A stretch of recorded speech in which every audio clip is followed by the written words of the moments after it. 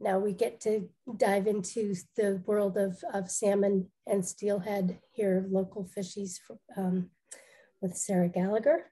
And uh, yeah, anyway, I think I will just go ahead and introduce Sarah. Um, thank you everybody for joining tonight. Um, I've been wanting to connect with the Noyo Center regarding salmon for a while. Um, it seems like they're a marine species, but we don't think of them like that all the time. And they're definitely, they live half their life cycle in freshwater and half their life cycle in, in the marine. So I'm really excited to um, connect in this sense. I will share up front, I'm not a, I really don't study their ecology in the marine environment, so it's not as familiar to me. Um, but anyway, I'm, what I hope to do today is um, share about some of the work that we do right out of Fort Bragg to do to monitor our local salmon and steelhead. Um, I'm a senior environmental scientist with the department. Um, I've only been in this position for about two years, so I'm a little bit newer to coastal um, salmonids, but I've been working with salmon and steelhead in California for the last 20 years. Um, I was working in the Central Valley before that. So a little bit different, uh, same species, different runs, a little bit different, but very um, similar things. So I'm going to open up my presentation if that works. Bear with me.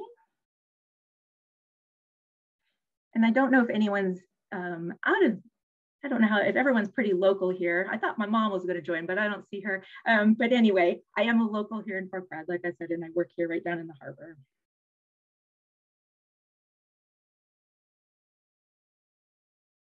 Hmm.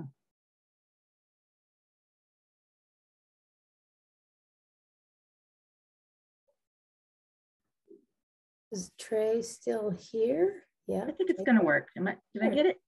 Yeah.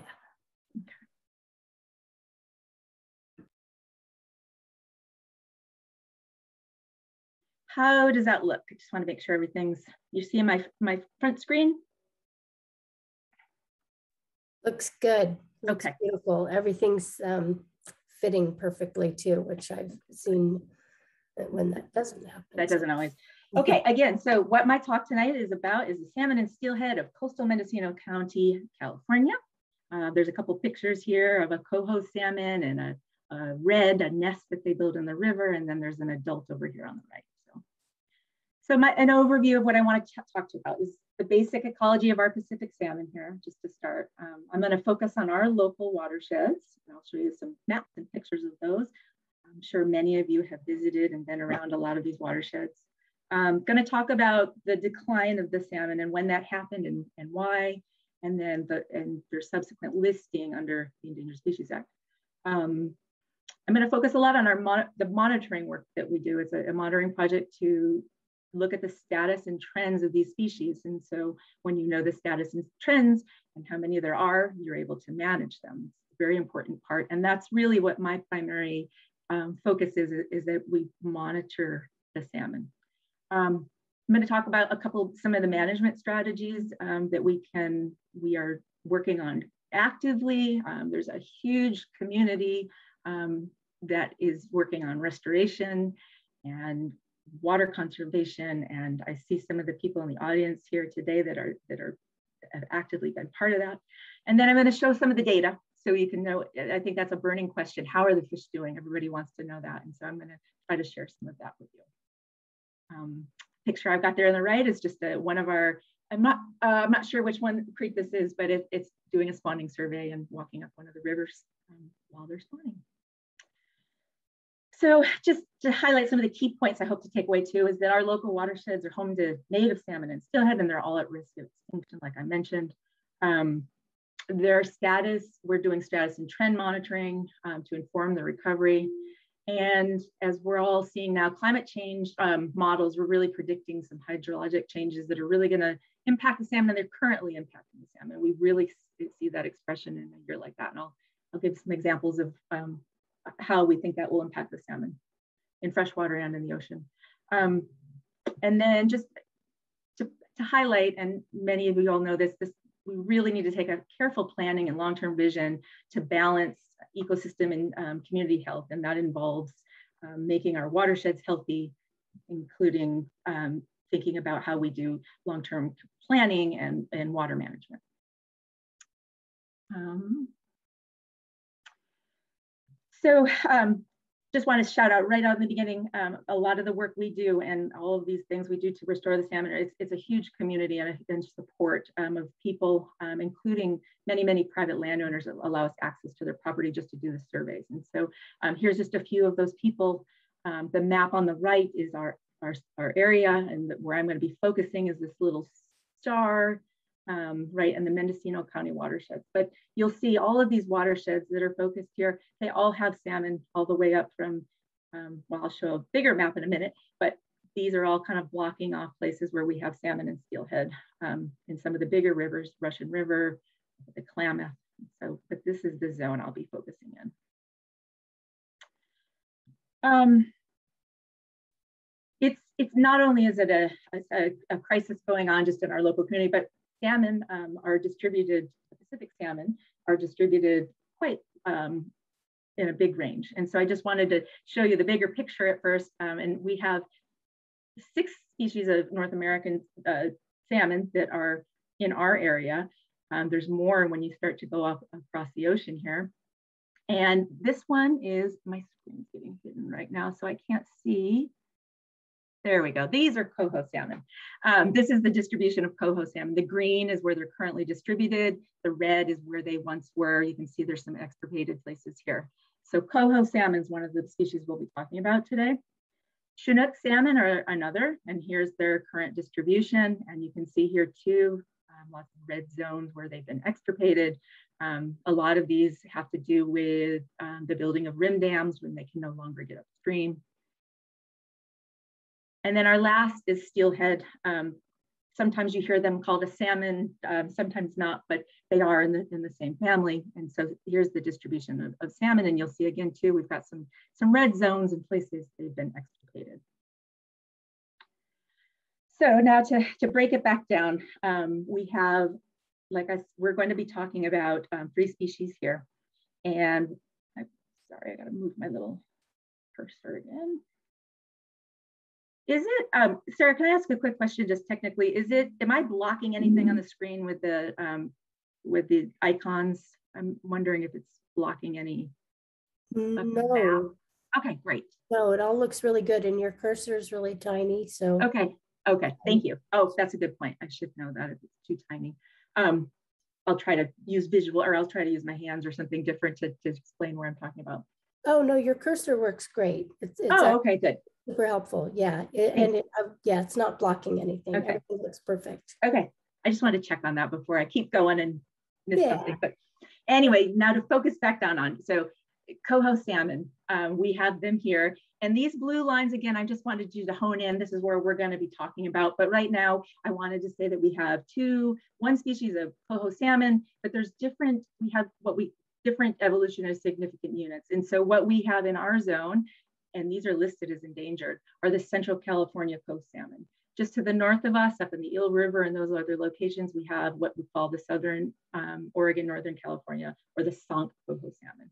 And so you can kind of see this, the distribution has a lot to do with geography and how they adapt to their um, environments. They're very much, um, they adapt to different conditions. And so they have different genetics, as you can imagine up in Alaska, they have some a very different climate up there where it's colder and wetter. And so they're going to be adapting um, a little differently where they might stay in fresh water longer.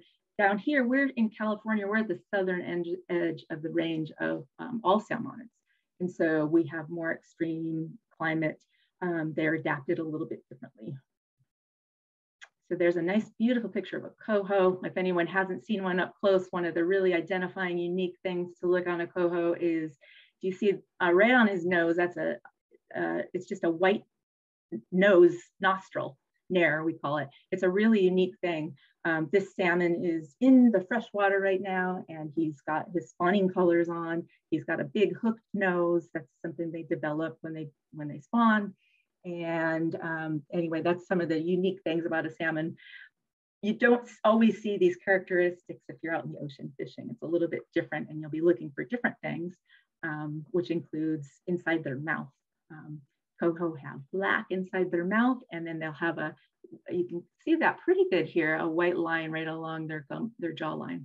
So that's one thing that um, you can use when you're trying to distinguish them from Chinook salmon. Um, so next, just wanted to share, so we also have um, coastal Chinook salmon here. Um, there's Chinook salmon, as you saw earlier, that range up north and all the way to the Central Valley, but what we have here are the coastal Chinook, and they are listed as threatened. And then finally, um, steelhead. Um, we, we have Northern California steelhead, again listed as threatened. And just to the south of us, we have Central California coast steelhead listed as threatened. And I don't have that on the map, but steelhead actually expand down quite a bit further, um, all the way down, used to be maybe down to Mexico. I don't think they've got, they're that far now, but we also have another um, um, populations that exist down there. I'm not gonna talk about, but they're actually listed as endangered. And then there's many other different populations um, inland. Here's a beautiful picture. Um, actually, I'm gonna back up once just wanted to highlight, I forgot to say about the Chinook, some of the really unique things about a Chinook, especially when they're, um, if you handle them or see them. And the difference with Chinook are these dots on their back. They kind of look like peanut markings. That's a really unique characteristic um, of a Chinook when you're comparing them to a coho. They're much bigger. They're known as kings often too. Um, and inside their mouth, if you looked in there, it's all black. So that's a, a really um, good way to tell them apart. And with steelhead, um, a lot of times they're smaller um, or they can be quite big as this one here. And a real unique thing about the steelhead is that they have white in their mouth. So if um, those are the three things that as adults and you're handling them or fishing for them, you can really kind of use that to distinguish them. So like I said, that those three pieces of all the different populations are gonna come together and here is our study area. This is the Mendocino coastal watersheds that um, I work in, and they contain these three, um, three ESUs of coho, chinook, and steelhead. Um, just to highlight, the yellow is where we do our sampling um, in this on the spawning grounds. And I don't know how familiar you are with most of our rivers. Uh, the bigger rivers are um, labeled with bigger font and highlighted. And so 10 Mile, Noyo River, Big River, Albion River, uh, Navarro, the Garcia, and actually the, uh, the Gualala as well. Um, just part of it is in our county, but it's not something we monitor. Um, those are our larger rivers. They have the strongest populations of salmon, but many of these other smaller um, watersheds also have populations of sam, of coho. Um, Chinook, are, they tend to be in the bigger rivers um, like Big River and 10 Mile, Navarro and Garcia, where coho will be found in, in most of these watersheds and steelhead in all of them. So I said we have three, and we mostly do, but occasionally we will get um, these other three. Um, and it's, it's not uncommon to have them. We don't have enough to do population monitoring. It's not their normal range, but we have um, a chum and sockeye and, and also pink that occasionally will show up. So those are some of the other, they're much more prevalent up north, um, up in Alaska, and not so much down here. We're really at the southern end of the range. Again, our, so our water, I just want to describe our watersheds a little bit. Um, and they're mainly coniferous redwood forests. Um, once you get up higher into the, some of the watersheds, they, they become um, more oak woodland and, and, drier and warmer. But for the most part, where our salmon are and where we're monitoring, it's um, more towards the coast. Um, they're all, they're almost all unregulated um, and flow directly in the Pacific Ocean. That's pretty rare. Um, if you look at a lot of California, there's a lot of dams. And so these smaller watersheds here, while there's diversions and some different things, we don't, there's none that are really dammed, which is really important for salmon. Um, there's a mix of bar-built and riverine estuaries. And so what a bar-built estuary is, is when the flows get lower, they'll close off. And so that will truncate fish moving in and out. Um, and timber, agriculture, residential is, is mostly the land use. Um, one of the reasons that I think the salmon do so well here is because we don't have huge populations. We have big tracts of land that they um, are not being necessarily developed. There's, there's timber and there's different things going on, but it's one of the reasons that um, we have um, some of the strongest probably coho populations um, in, in the state for CCC coho.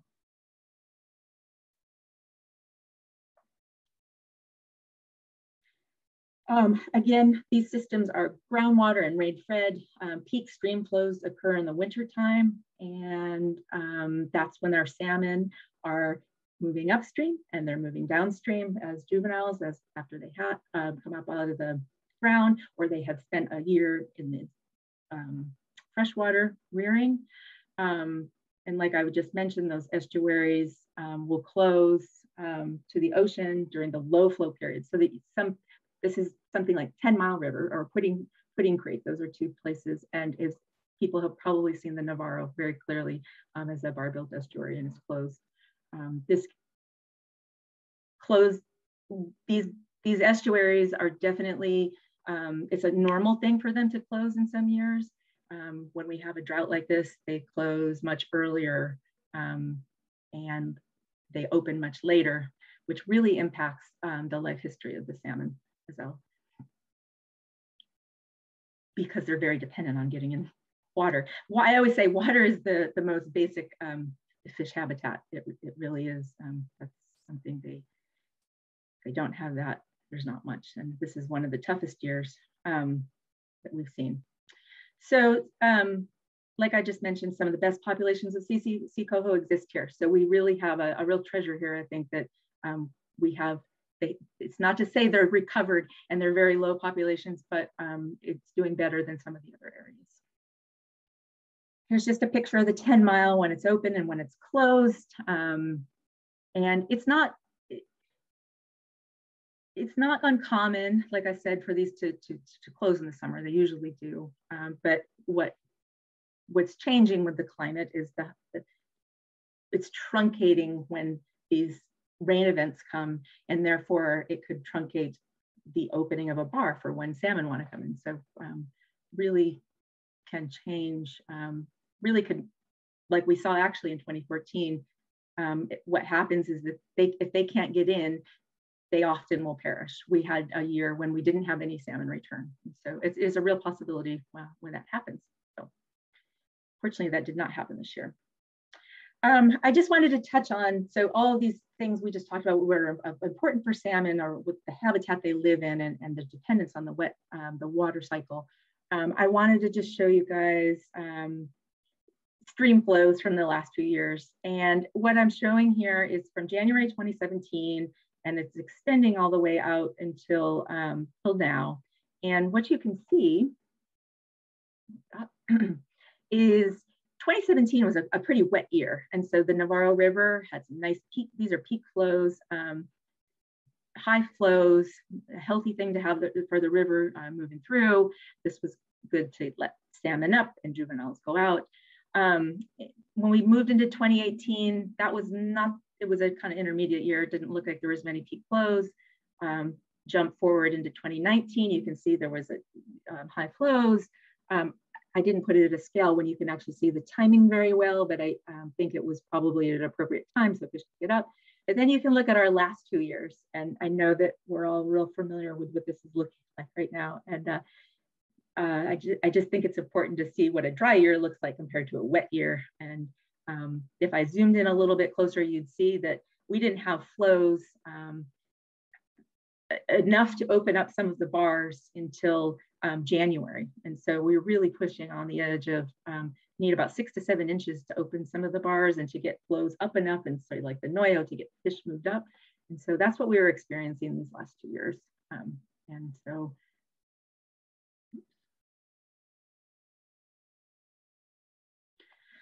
Okay, so just I just want to break into the, the life cycle of the, the salmon a little bit. Um, like I think I've mentioned, they're very they're highly migratory fish. They they swim thousands of miles. They go from the freshwater to the ocean. And so um, what I have right here on the right, it's a very old graph uh, graph, but I really like it. Um, it it's a, it's for coho specifically.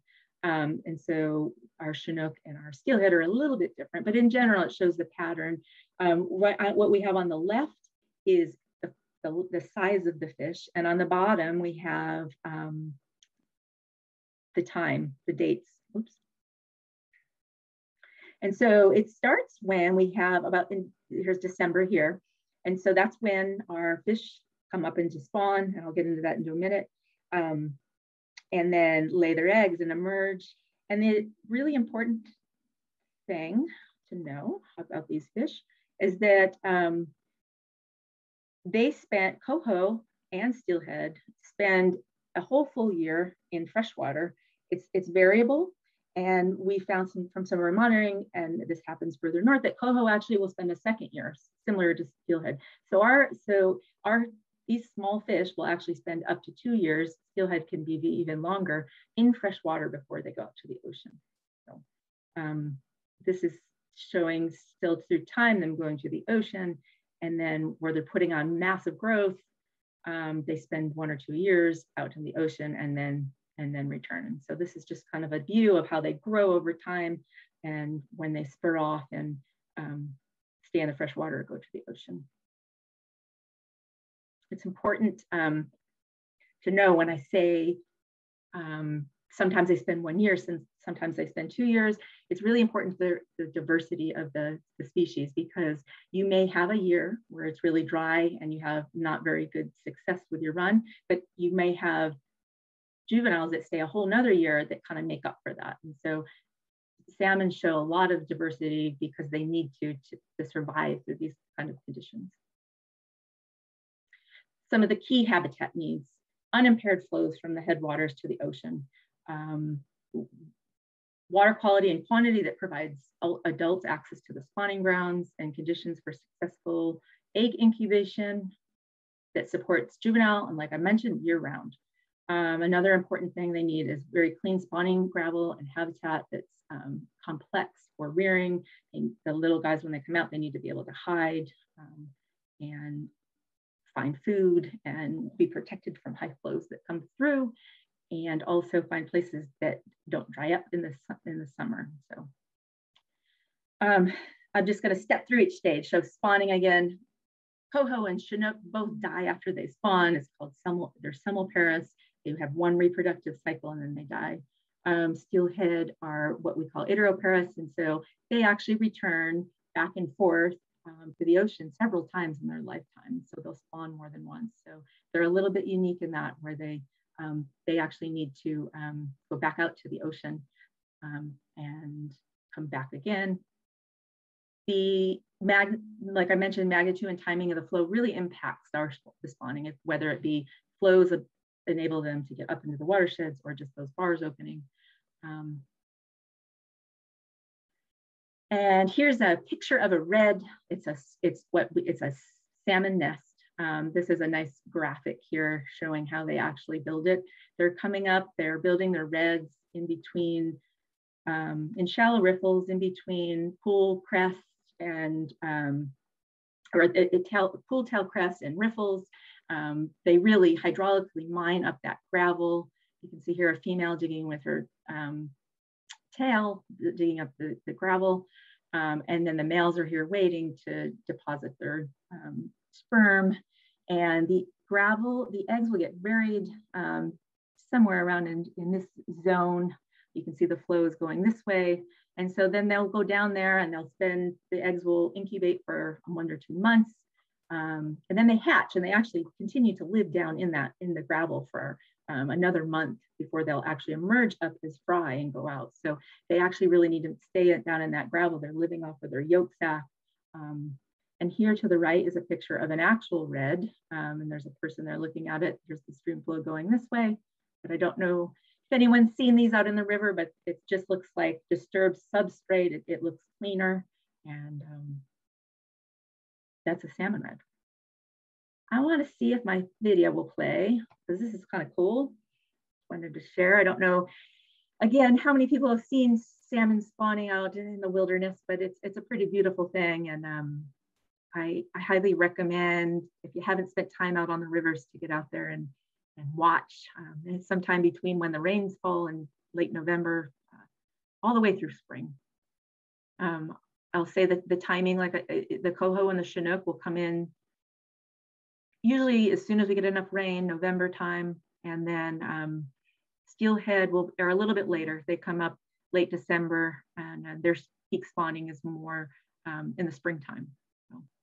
So we have what we have right here are two coho um, males. Actually, there's no female in there right now, and they're um, they're fighting each other. Just then trying to find the female. uh, to get their sperm deposited. So anyway, beautiful fish. I think I, I think I see that on one of them. I can't be sure. Um, they have a Floy tag, and that's like a, a, a I'm not sure if it has it on there. I'll go over that a little bit later, but it's a way that we mark our fish to, to count them. So um, anyway, that's a spawning salmon. It's about done. Makes me happy to see it. And I've seen it a million times. But.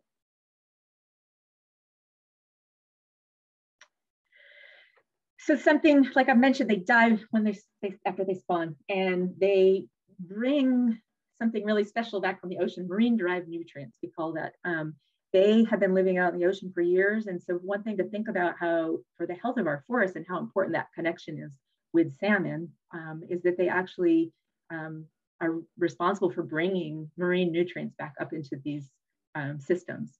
Um, there's studies that they have done when they look in tree rings and they can see the marine nutrients. The bears eat them, they spread them around. The insects, as you can see in this picture, these are caddisflies um, munching away on a, a, carcass.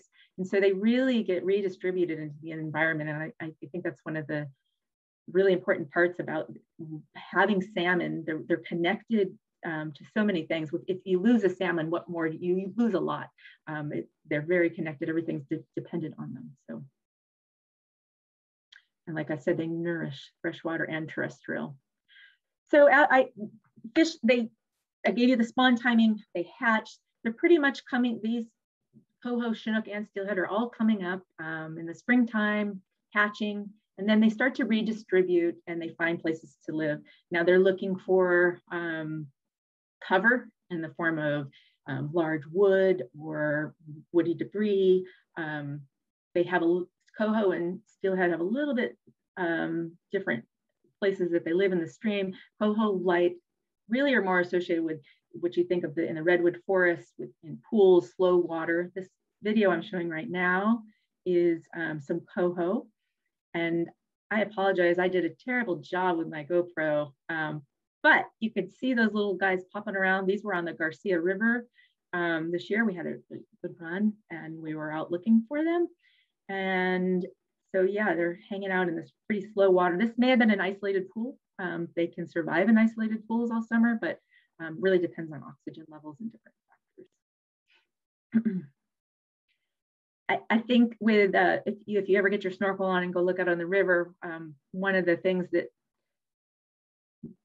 make little coho stand out. Um, you can see their fins are kind of long. They almost remind me, I, I don't, I won't, I don't want to say they're like goldfish, but very different in the sense that see that long frilly fins, um, almost if you saw a steelhead next to it or a chinook, very different. Yeah, there you go. That's a, it's a really um, kind of a, they've got a long anal fin and a long dorsal fin. And then I, I always say a little bit bigger eye if you're comparing the two, but anyway, there's some coho. Um, so they've got a long time, they, they don't go right out to the ocean, whereas Chinook juveniles will go right out to the ocean.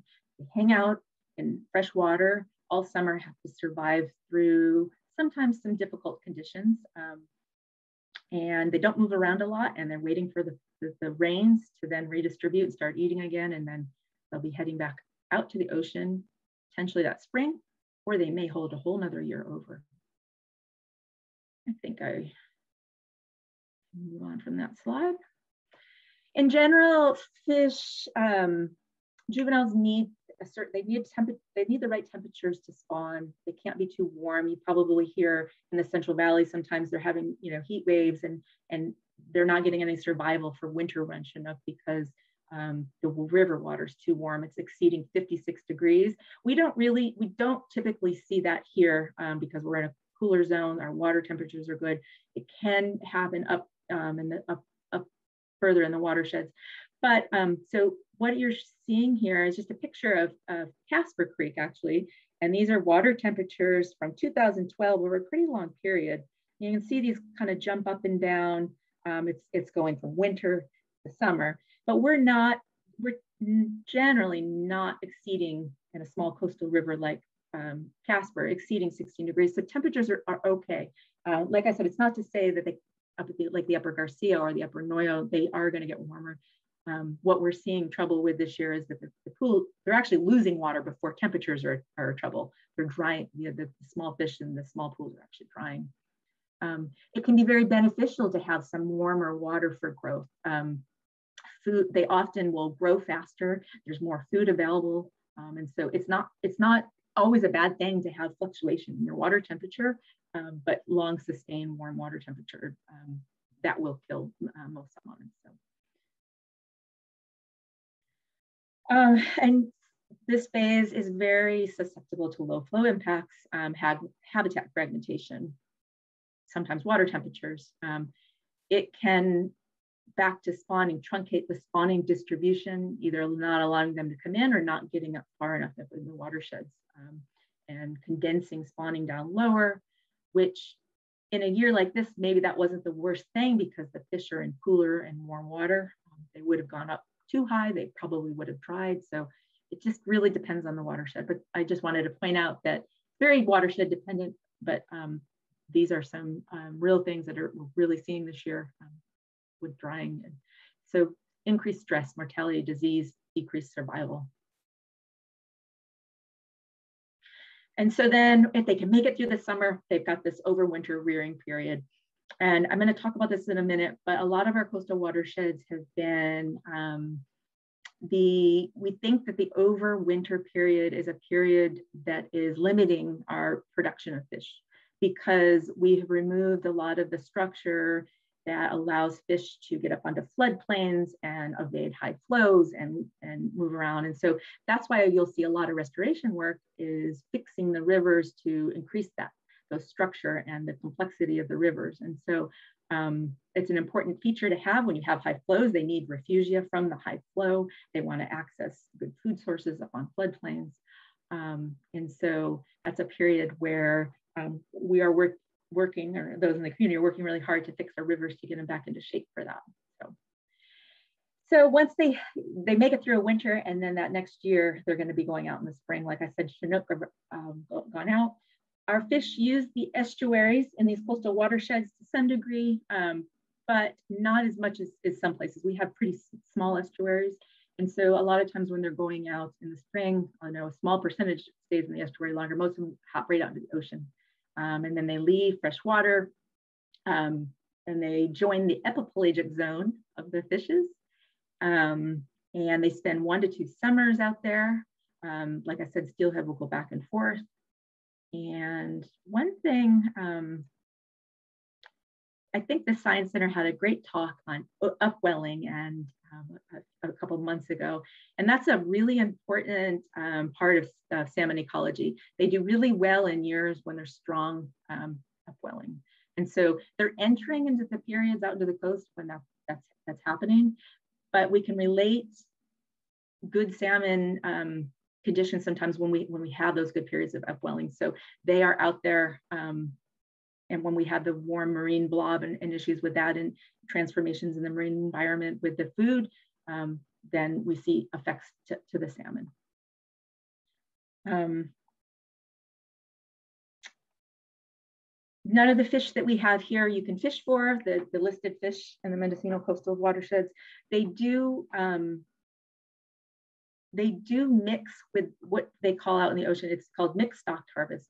So they go out into the ocean, they're mixing with the other runs of salmon that people do fish for, um, the central variola chinook, the, the Klamath chinook. And so um, coho are out there. There's actually, and coho from up in the uh, Columbia will actually come down this far too, but there is no fishing for coho. So, so there is sometimes um, it, another reason it's really important to be able to identify the fish because they are mixed with the others and um, they are they're not they're not supposed to be harvested, um, but sometimes they do.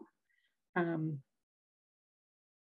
and I just, I put climate change up there. I keep, if you see that's a theme I keep bringing up, um, I, I, really, I'm trying to emphasize that, that salmon, um, they're affected by climate change in the freshwater environment, but then in the marine, and, and we know the marine environment affects the freshwater, but there are one that they're really good indicators because they're actually going, you know, to both places. And so they're going to be impacted ways that other species may not be.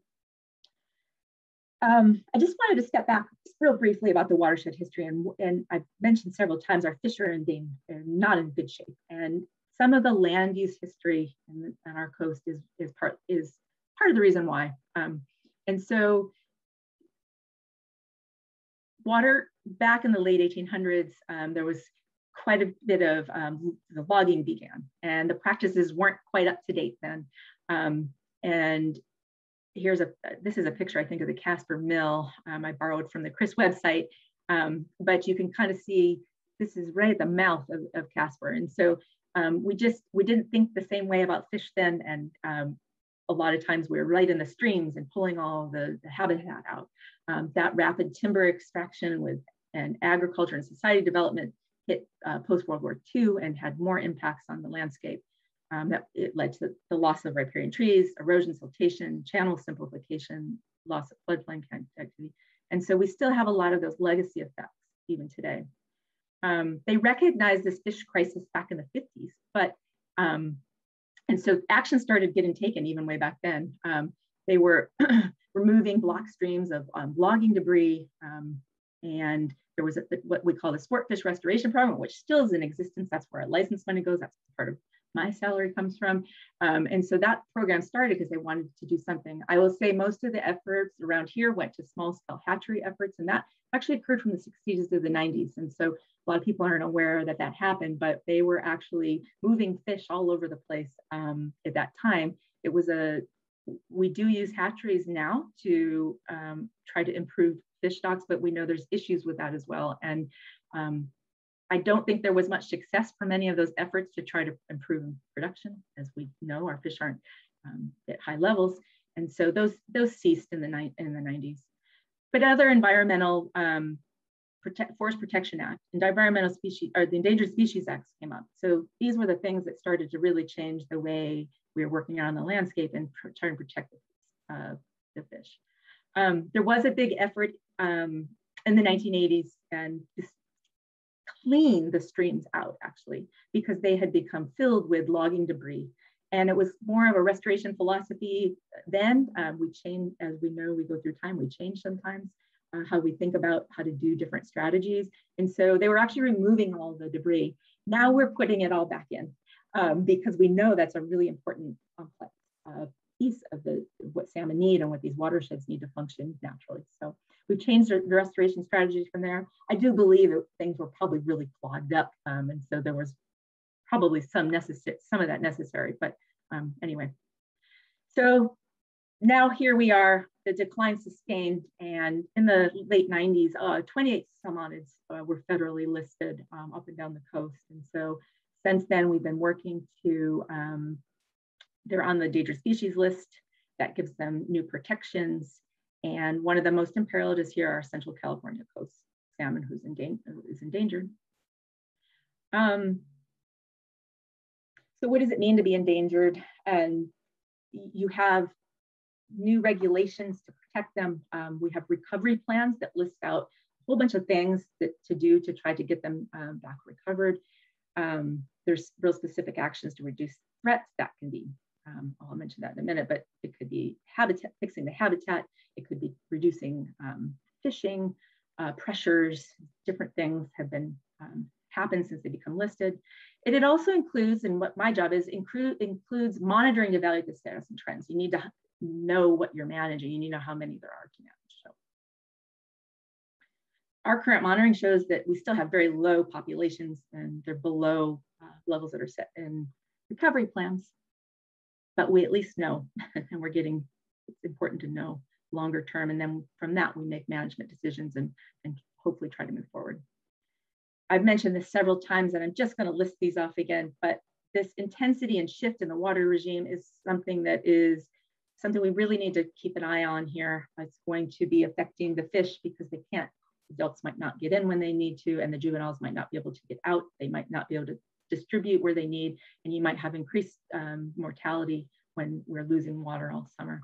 Um, some of the the marine ecosystem shift too. There's novel shifts happening out there where the food is not the same as was before, and so they might not get the food um, that they they had some of those things are um, unknown. I think at this point, what's happening out in, in, the ocean, we don't know how those shifts will uh, play out. Um, we've seen some of that with the kelp here locally. Um, we've seen um, one really interesting thing that I don't think we've seen in our uh, fish, but they've been seeing this in the Central Valley is there was a shift in feeding to, I believe it was anchovies, and it raised levels of thiamine in the, in the salmon. And what that ha what happened with that is that those adults came back, they went to the hatcheries, um, they were raising their juveniles, and I think they saw this in the wild as well, and the juveniles were having these defects.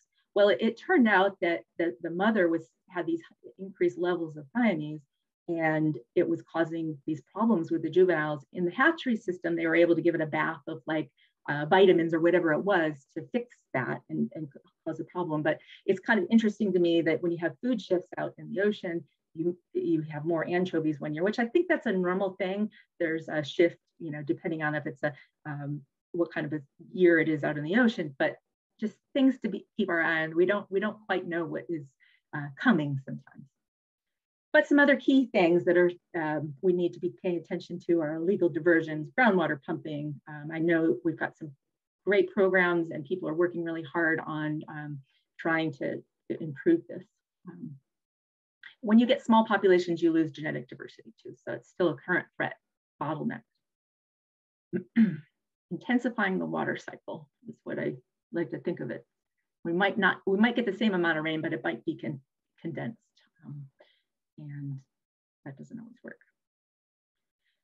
I wanted to, and then along with that, here's another example. I showed you some flows earlier. These are mean daily flow, mean monthly flows um, for four different water years. Water year 17, that goes from October to October. Um, that was a pretty wet year. You can see what that looks like. Um, this is in the, hmm, sorry, I don't know if this is the Noyo or the Navarro, but um, it's one of the two. Um, so you can see what a wet year looks like. And then you can also see this black line is what a an average year looks like. So that's many years over time. We do always have this fluctuation. Um, pop forward, and here's our two years, um, 2020, 2021. You can see how much lower they are. You can see that we're having this shift where river flows never really came up till December, and that's it's getting on the uh, later end of when coho want to return. Um, and then worse, uh, not maybe worse, but as bad, it kind of stopped raining in the spring the last two years. And so when that happened, that starts to disconnect habitat and fish are not, the juvenile salmon are not as able to get out to the ocean. You can see in a more normal year, we've got high flows. This is their peak migration period going out to the ocean. Um, got some flows, but when you're running into this, it's definitely more challenging. For them. I mentioned some of these strategies uh, for recovery, water conservation, habitat enhancement.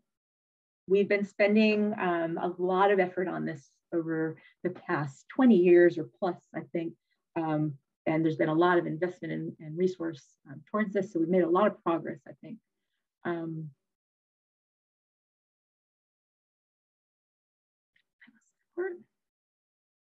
how's my time, Sarah? I don't want to um, drag. I want to make sure I'm not popping through. I don't have a. It's uh, 721. Um, okay. Generally, we keep to an hour.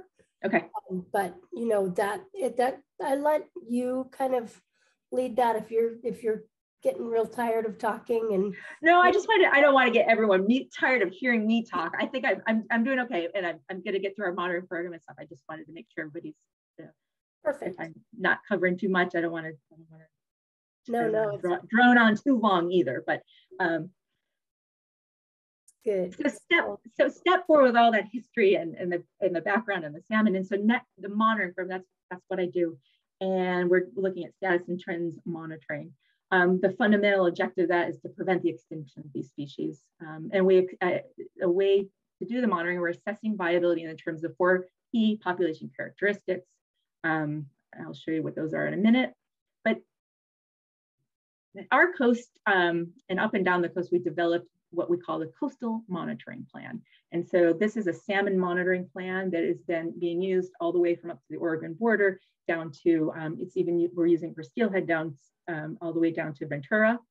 Um, it's, a, it's important when you have a long-term monitoring kind of a program that you have um, consistent protocols. You have um, something that you can get out and repeat because we want to be able to look at, at trends over time, something that's affordable. Um, I'm not saying it's exactly affordable, but something that is, you know, you have to be funded to be able to do this. So uh, viable, so it's the viable salmonid population, VSP conceptual framework. And what we're, the two that we're looking at is abundance when you have individuals in a population. If it's high, you want that to, that buffers the population. Um, when you have a trend that's going up, you want that to be high um, over time. And so that's the, our monitoring program is mainly looking at those, um, but we also look at spatial structure and diversity. Uh, monitoring success. We have annual estimates um, of the entire Mendocino coast. We've got a long-term data set building, um, standard data collection procedures um, set up. And we're estimating a large area to, and we're in reducing areas. We've got great partnerships. This doesn't work without partnerships. I can't emphasize that enough. We have, and, and a lot of community support. We need landowner permission to go out and do these surveys. I mentioned that this program is go, this is the, the squiggly lines you see in all these different population zones are places where our sample frame is set up in other locations. This is us. Um, it's important to think about salmon in a diverse way. It's not, you don't want just one population, you want a diversity of populations. And so it's important to try to maintain that up and down the coast. Um, So we're collecting data at different freshwater life stages and spatial scales. Talk about what that is. It's a two-stage strategy. And so spawning surveys is the way we go out and count, count the fish.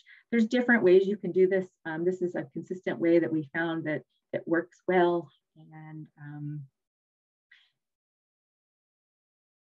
how you do that is you do redd counts. Um, that sample frame, would like to show you that. This is our sample frame. It stretches from Usal Creek all the way down um, the Schooner Gulch, but really the Garcia.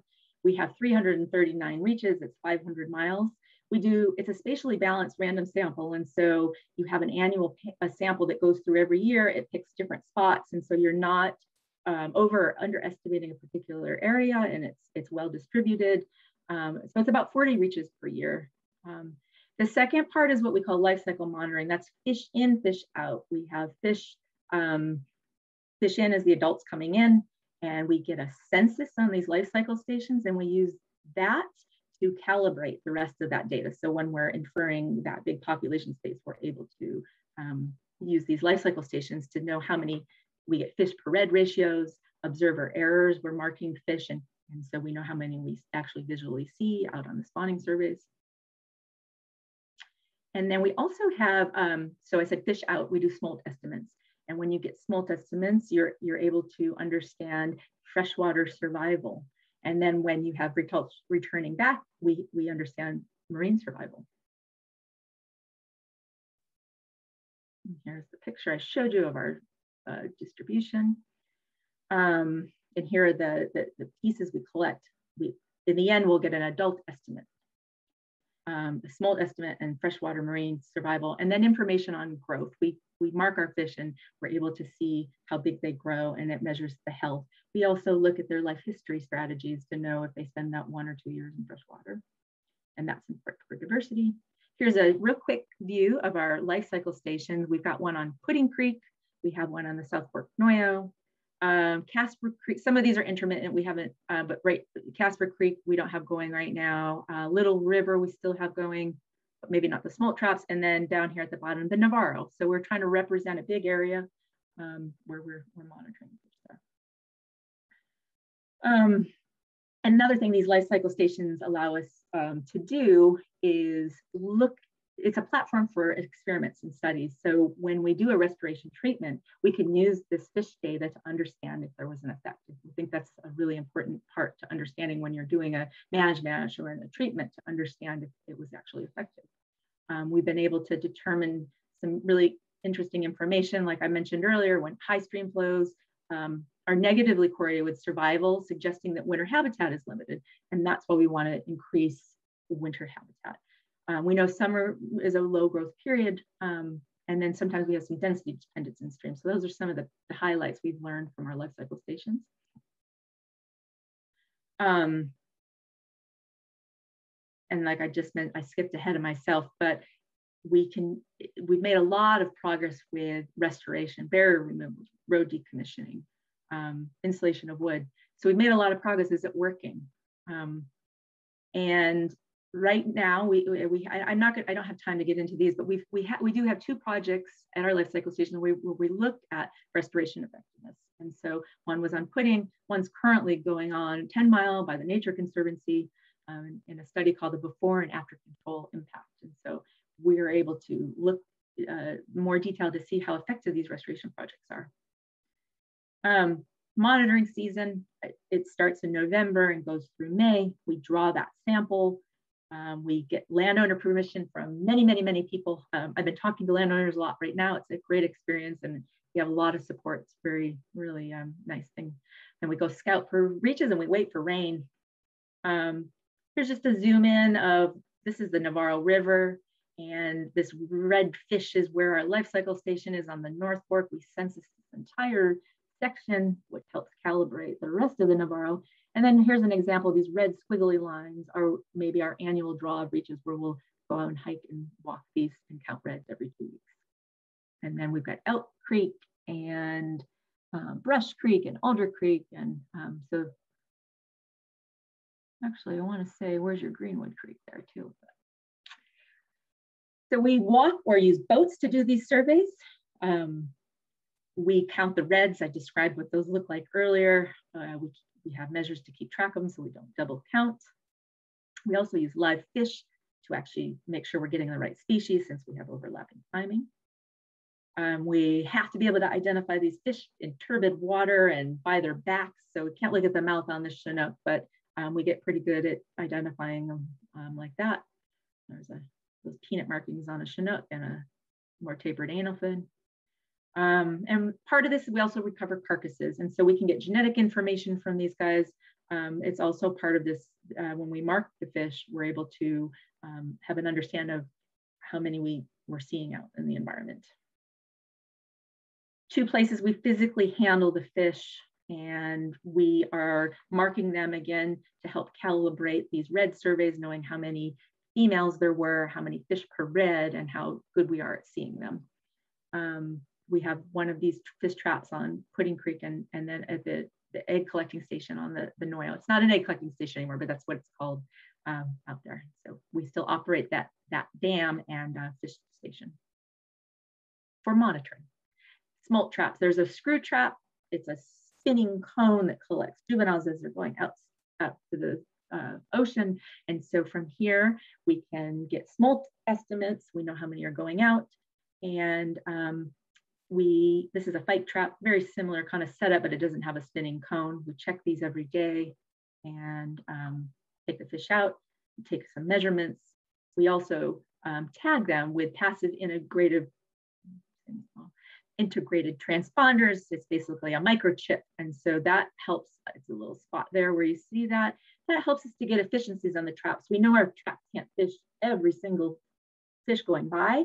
And so when we mark them, move them back upstream, we can calculate how good we are at catching the fish. And then that helps us to get a good estimate. Um, we also, from these pit tags, we have arrays so we can learn about migration timing, um, growth, survival when we do recaptures. This graph here up at the right is just a, a graphic that's showing um, fish movement in Caspar um, and when they're going out to the ocean or maybe spending a little time in the estuary. These are coho, these are um, just numbers of fish on the left. And you can see on the bottom are months, April, May, June.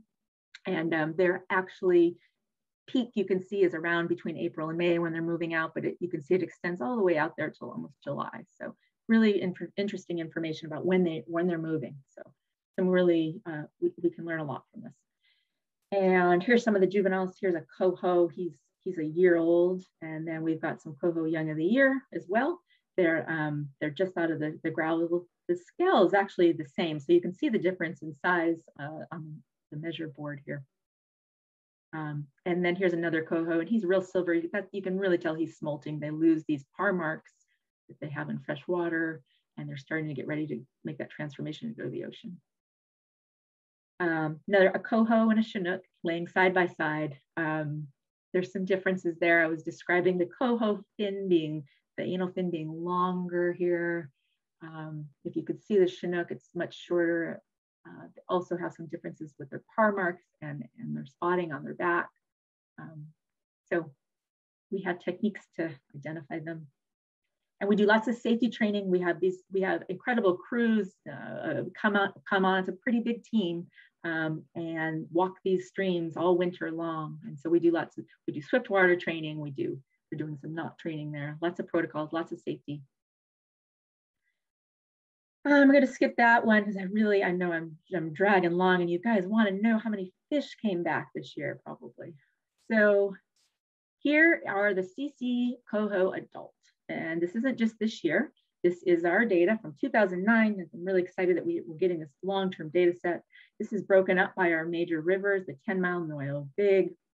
And the top you'll see, it's not completely additive, but the way we sample, we're able to do the entire coast. And so the dots with the lines are actually the, um, the entire Mendocino coast. So here we are, 2020. This is the 10 mile was one of the better, the best estimates we've ever had come back this year. It was a really good run. We actually had a decent run of coho. Unfortunately, it was met on these drought conditions.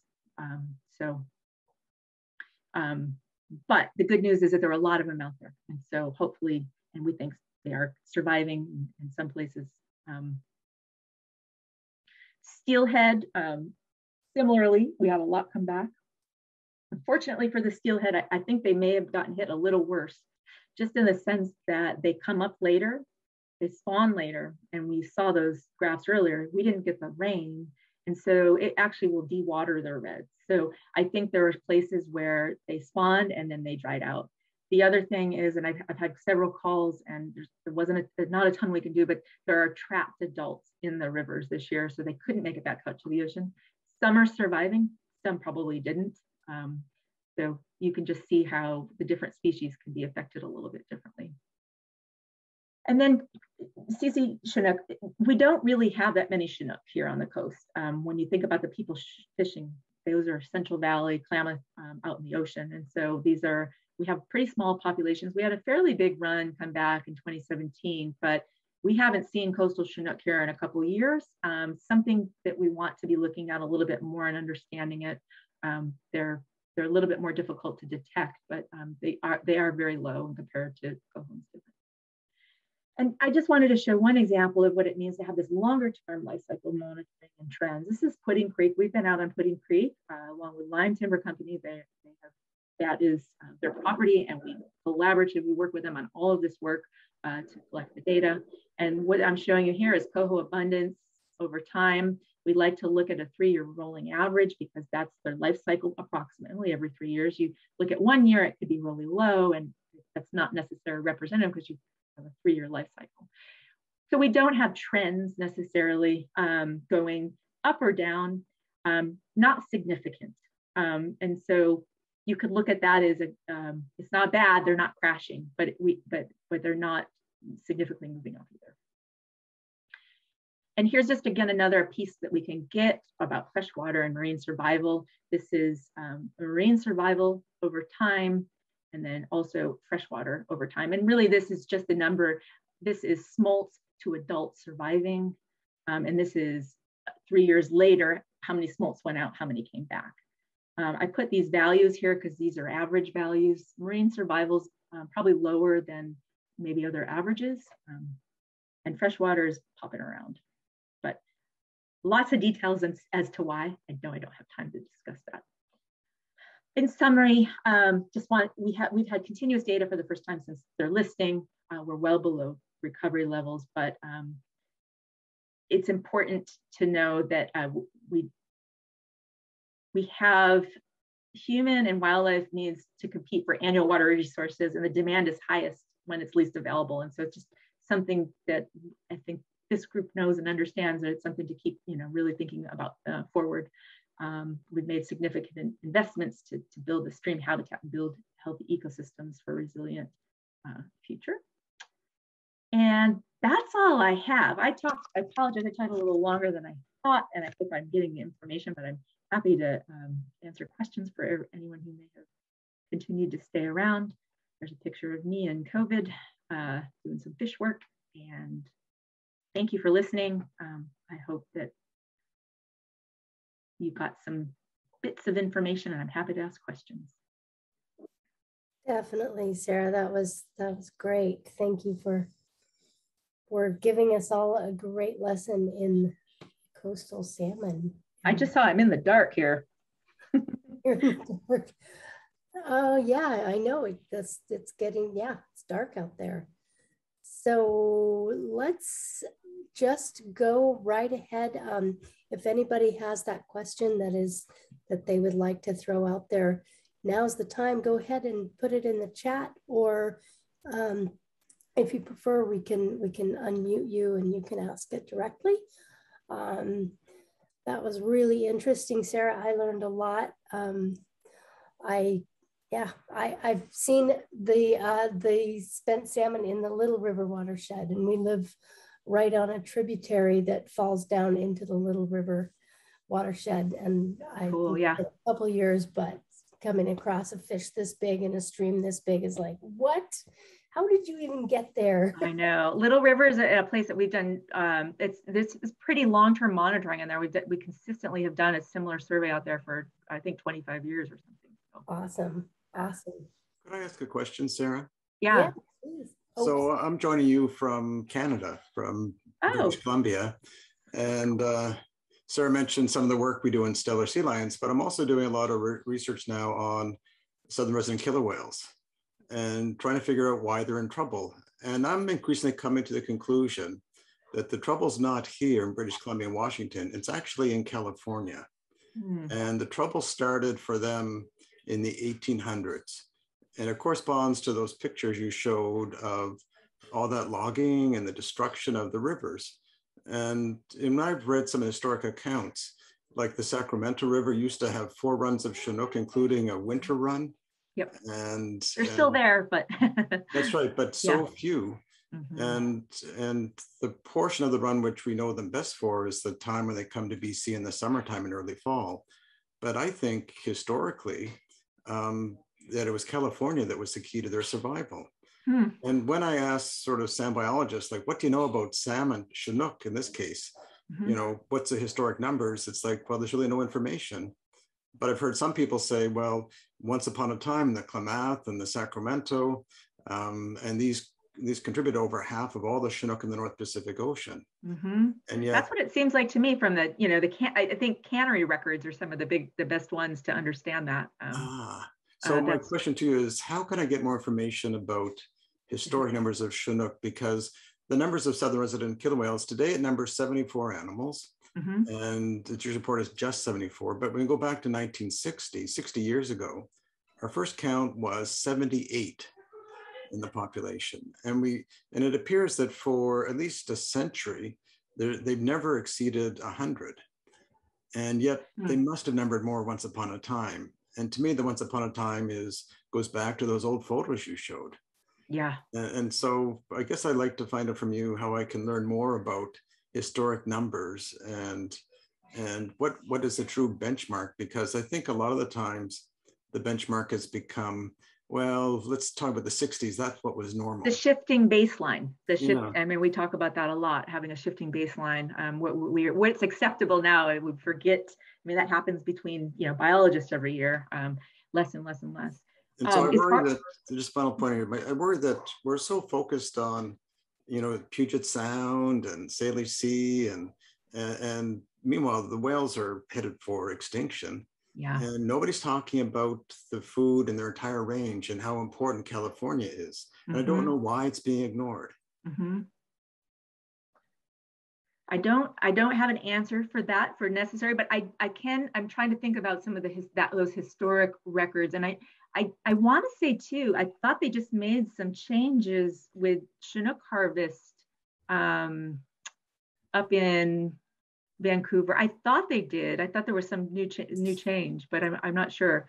Like no, there, there, certainly are restrictions on fishing yeah. here, yeah, yeah, all yeah. designed to make more fish available. But our research is showing that that, that we can't find um, a shortage per se, despite the fact that salmon have gone down.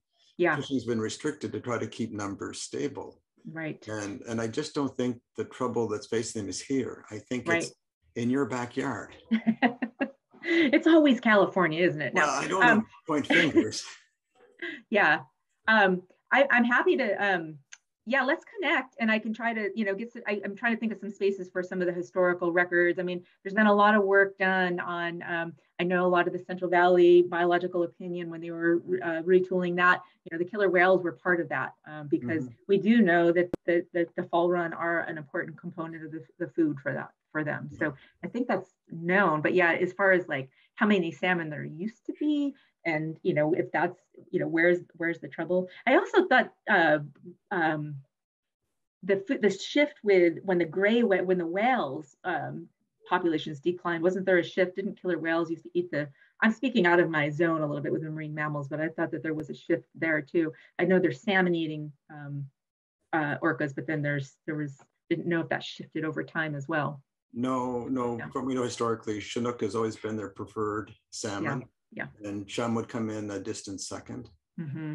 and uh, sockeye begrudgingly. Mm-hmm. Well, interesting. I'm how nice that someone from uh, so far away. Yeah. Really? Well, we're part of the same system, the California yeah. current system. Yes. all connected. Um, Patrice was wondering how one might get involved.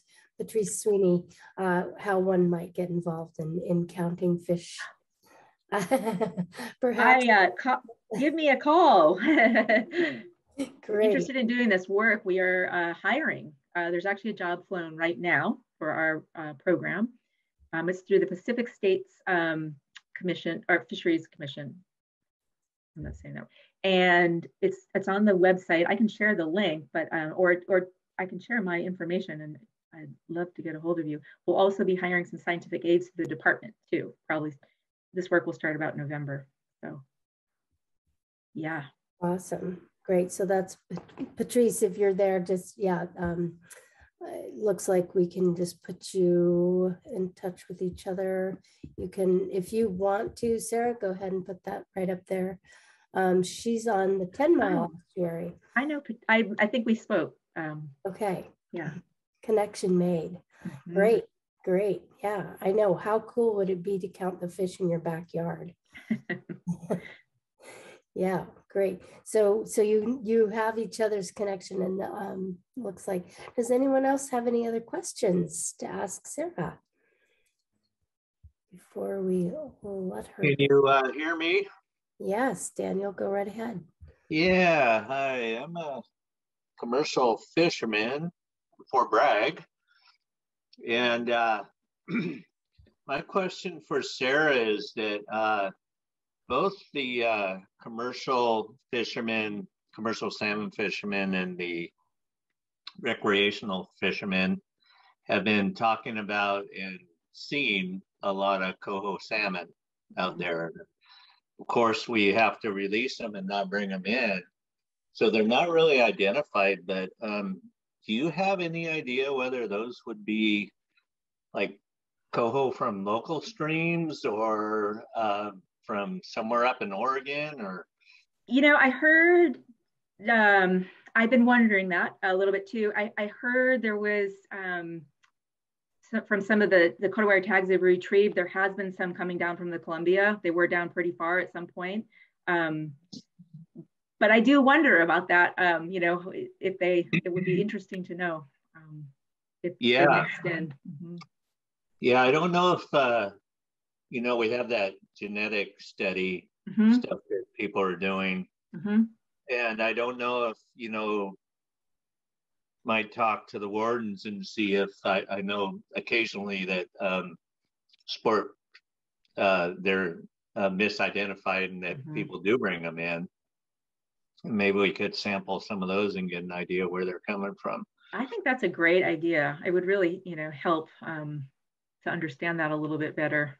It, it's a little bit of a, I mean, that is one great program that you're bringing up, Daniel, about, um, you know, being able to do that genetic work and figure out, you know, it, it, it gets a little mystery what fish are out there. So um, yeah, being able to um, understand that better and it helps to, to set the regulations different when needed and or just improving the way I, I you're out there and seeing them. I, I haven't seen a lot in the ocean. I, am sure it is more challenging in the ocean to identify them, um, especially maybe not to you, but to, to someone who's not as experienced um, between a Chinook and a, a coho. Yeah, personally, uh, I can tell the difference while they're still in the water behind the boat. Yeah. Uh, but uh, I know for uh, recreational uh, fishermen that um, it can be pretty tough. Mm-hmm. You know, looking at all, them all the time, but um, I'll I'll check on this end and and see uh, you know talk to the wardens and see how many of them were actually brought in.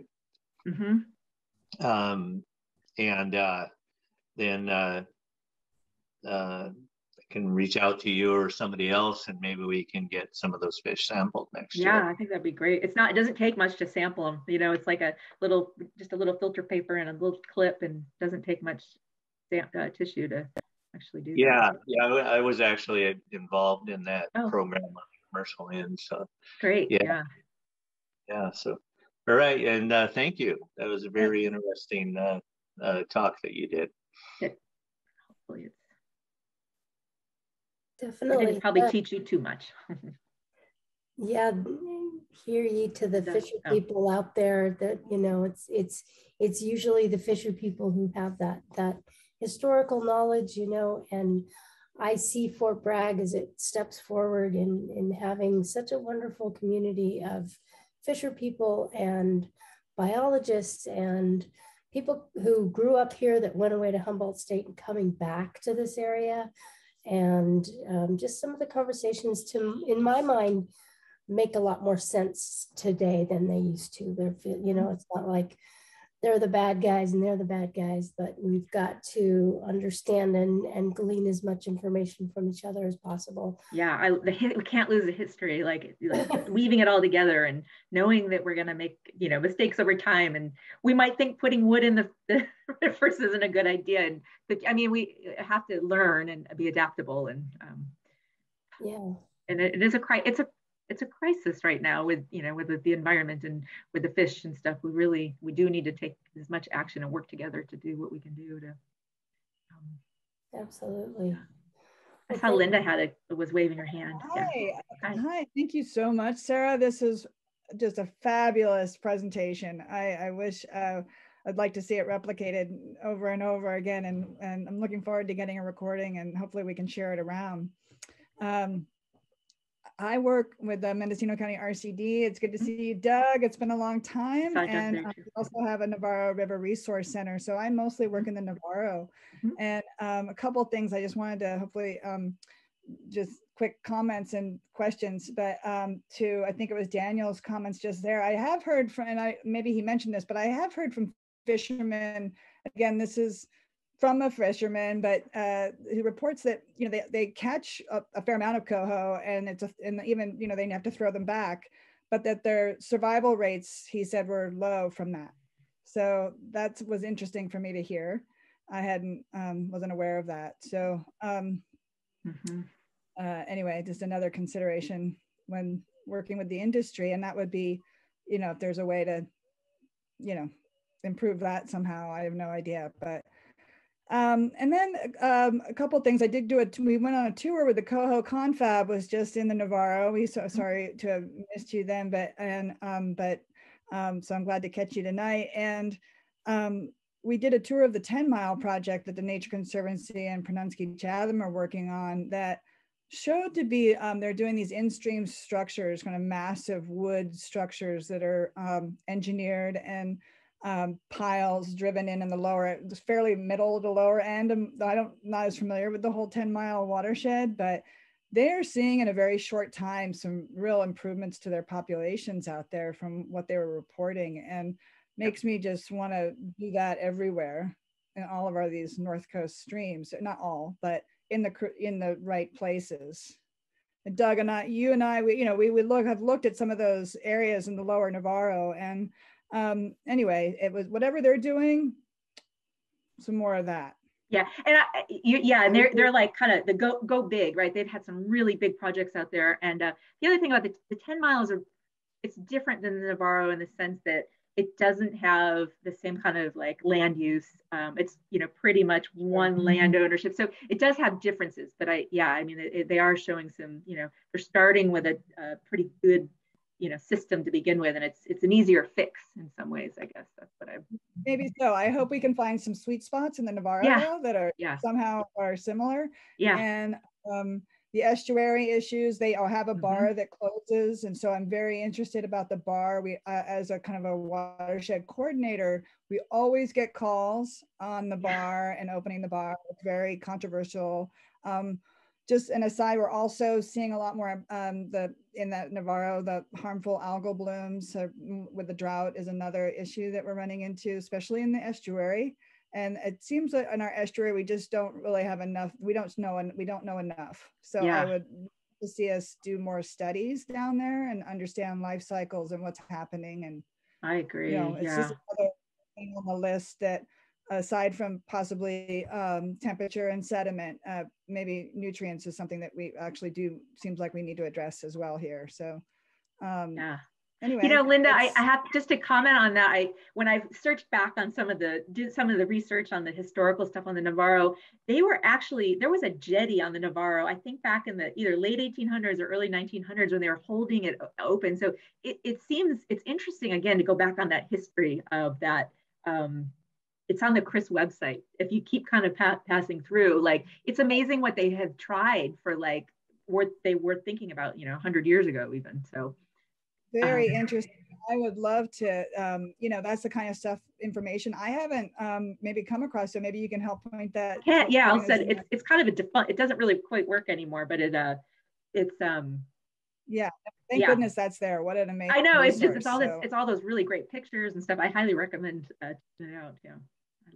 I'll just make a plug for the Mendocino County RCD. There's a, web page on flow enhancement. It's it's if you go to a resources page on mcrcd.org, there's a resources page that is about flow enhancement that talks a lot about some of the work that it needs to be updated, but the work that's been happening on the flow enhancement side of things because we are uh, the Navarro got to zero CFS this year for weeks at a time, uh, literally stopped running uh, we haven't, you know, 76, 77. That would be another thing I would love to see is how this these two years compare to 76, 77. I haven't really seen good, you know, that that mapped out yet. And and your your graph on the two years side to side of where our flows got to, mm-hmm. it's uh, shocking to me. Um, maybe I misunderstood it, but um, it looked like there was still a decent coho run yeah. last year. Yeah, our, the bar, it just happened to be the bar opened at the right time. Uh, 2014, the bar did not open and we did not have returns. Um, yeah, Pudding was, Creek, Navarro, yeah, so. So timing is everything because it really wasn't open. You could see on that graph, it was like a little, you know, it was just a little teeny thing. So um, yeah, it was. Um, I mean, we just didn't get. Yeah I mean, they spawned and now, you know, the young of the year, the, you know, the survival, hopefully they're adaptable and able to stay in those pools wherever they might be.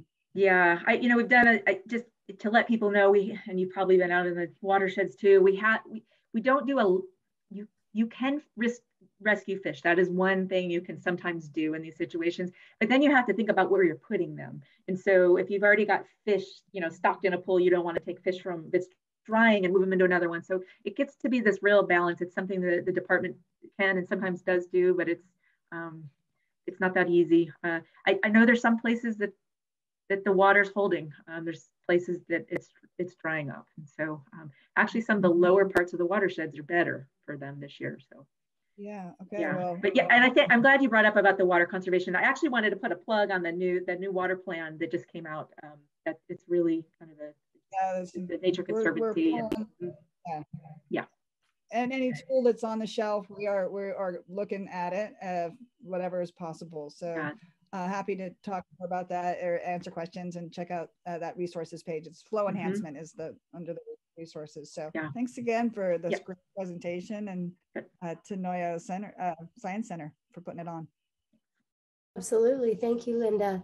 Yeah, and then I think that we probably have to let it go here. Um, it's dragging on a little bit long, but I did have just just that one question, that key question around um, if there is any information on the benefits of breaching the sandbars. And um, that seems like a big, big discussion. And I know that it is controversial and, um, you know, looking at those fish right at the end. And I was like, I want to start digging and let you guys go out to the ocean. That was, I forget when that was. That was might have been in February when it closed really early and there were a bunch of big salmon right in the end and there. And it, um, anyway. Yeah, it's, I don't know if you want to I think it's something we have to, I, I don't know if it's the right management action, but I think that we have to really think about that. You know, I mean, it, it's, it is going to be, continue to be a, a trouble um, as we get these altered uh, rain systems. Um, so yeah.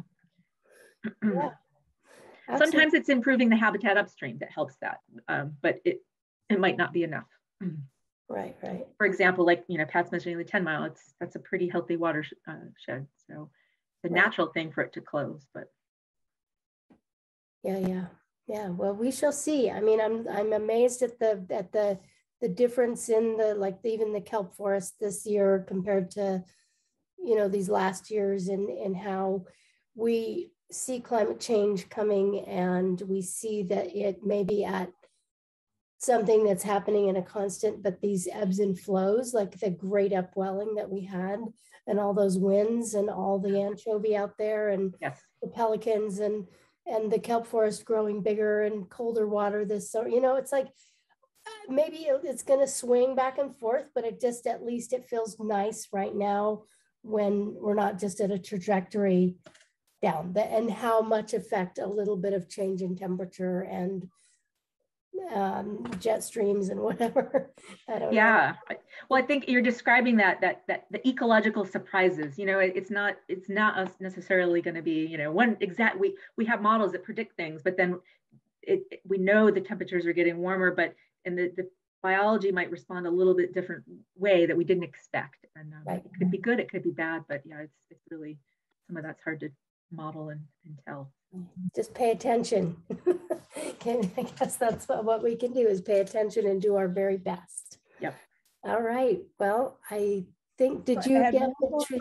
Teeny little thought. I'm sorry to interrupt. I had one teeny thought that when when you're talking about the bar, and one thing that uh, our understanding is, I just want to confirm this while I have everybody here, is that you know the our understanding is that if the bar you know is going to open when there's enough flow so that's the one of the key things so that if it's not opening, then their habitat isn't there upstream to support the fish is one way. And I don't know if that's a, you know, just a rationalizing and what's happening to them out in the ocean while they're waiting to come in. But, uh, and if they can just turn on or off, they're spawning. But anyway, I somehow have to trust in that right now, but we are working on improving flows. That's, it seems is a definite essential.